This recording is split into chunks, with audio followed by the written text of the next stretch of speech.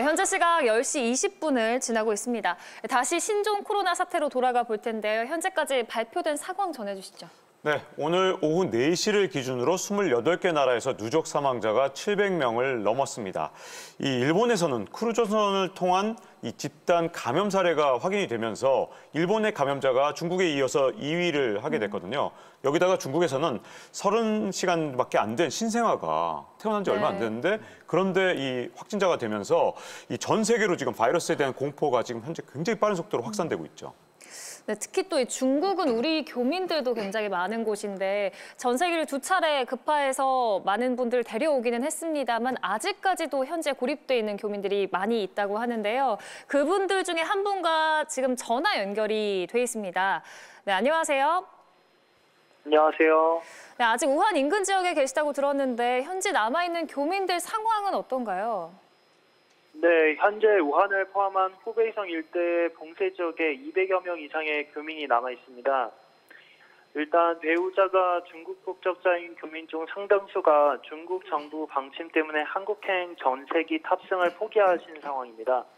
현재선 나날이 사망자와 감염자 수가 늘어나면서 많은 교민분들이 불안과 공포에 떨고 있습니다. 네, 외출 금지령까지 내려졌다고 하는데 생활하는데 어려움이 많으실 것 같습니다. 네, 1월 23일 오전 10시경으로 해서 우한 봉쇄령이 갑작스럽게 내려진 후에 많은 혼란이 있었지만 다행히도 지금은 생필품 품귀 현상이나 사재기가 많이 잠재워진 상황입니다. 그러나 아직까지도 심각한 상황입니다. 음. 지난주엔 1, 2차 전세기를 통해 우리나라 민 우리나라에서 일부 이제 많은 양은 아니지만 일부 고품위 품목이 들어와 가- 이제 교민분들에게 전달해드리고 있습니다. 네, 뭐 가장 좋은 거는 사태가 빨리 진정되는 거겠지만 현실적으로 쉽지 않아 보이는데 대책은 어떻게 세우고 계신지요? 네, 우선 저희 호북성 한인회 측에서는 비상대책위원회를 조직해서 시시각각 변하는 상황들에 대응하고자 이제 위챗 단톡방을 통해서 수시로 교민분들과 소통하고 있습니다. 비상사태를 대비한 임시 의료 서비스 센터 운영을 위해서 만전을 기하고 있는 상황입니다. 네, 이렇게 어려운 상황에서도 연결 응해 주셔서 감사드리고요. 꼭 피해 없이 안전하시길 바라겠습니다. 네, 감사합니다. 네, 이렇게 바이러스가 단기간에 빠르게 확산을 하면서 세계적으로 어떤 사회 경제적으로 큰 파장을 낳고 있죠. 그렇죠. 경제가 진짜 문제인데요. 이 발원지가 세계 공장이라고 불리던 바로 중국이기 때문에 뭐 당장 세계 경제가 움찔하는 모습을 보여주고 있는데 뭐 당장 타격을 받은 데는 물론 항공업계나 여행업계 같은 곳이라고 할 수 있거든요. 여기다가 이 중국에서 부품 공장이 이 어느 정도 가동이 중단된 곳들이 늘어나면서 우리나라뿐만 아니라 글로벌 세계 기업들이 완제품을 제때 만들지 못하는 생산 차질까지 빚어지고 있는 상황입니다. 네. 무엇보다 감염에 대한 공포가 정말 심각하다는 것을 알 수 있는데요. 전 세계적으로 마스크 품귀 현상이 일어나고 있고 타이완에서는 마스크 해외 수출 금지령까지 내렸다고 합니다. 아, 과거에 사스 메르스를 거치면서 어, 바이- 바이러스에 대한 두려움이 굉장히 커진 것이 사실이고요. 어, 이번 코로나 바이러스는 전파력이 얼마나 강한지 단기간에 많은 환자들을 만들어냈습니다. 또한 정보도 SNS를 통해서 삽시간에 퍼지면서 공포감이 지속적으로 퍼지고 있는 것으로 생각이 됩니다. 예, 중국에 있는 친구 말 들어보니까 정말 심각한 것 같아요. 중국 마트, 마트에서 마스크 안 끼면 안 낀 사람 못 들어오게 하니까 어, 난동을 부려서 체포되기도 하고요. 어, 오하, 오항에서 온 사람이 어, 자진 신고 안 하다고 동네 사람들이 폭력을 가지 있었어요.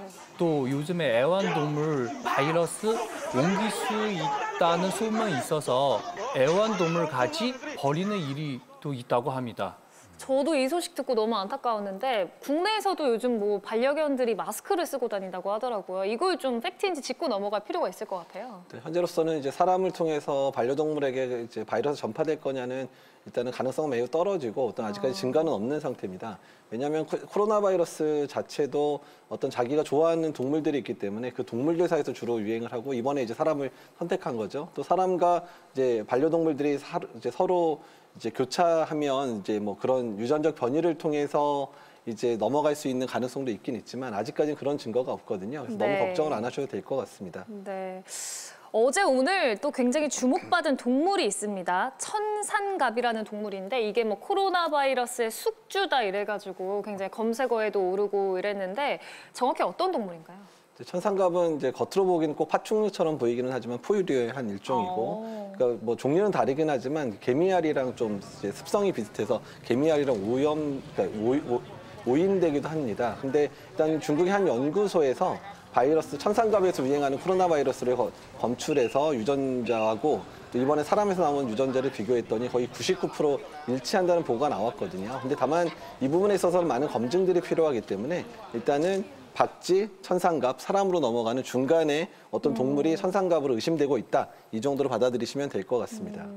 이렇게 확인되지 않은 정보가 퍼지면서 공포감이 커지는 것도 문제인데 또 사실은 이런 확인되지 않은 치료법, 예방법까지 퍼져나가면서 사람들이 이런 민간요법을 실제로 하고 있는 거잖아요. 예, 맞아요. 초반에 중국에서도 사우나 가며 병균을 죽일 수 있다. 아니면 고량주 마시며 병균을 죽일 수 있다. 또 고량주 몸에서 바르며 병균을 죽일 수 있다는 황당한 소문 퍼지기도 했어요.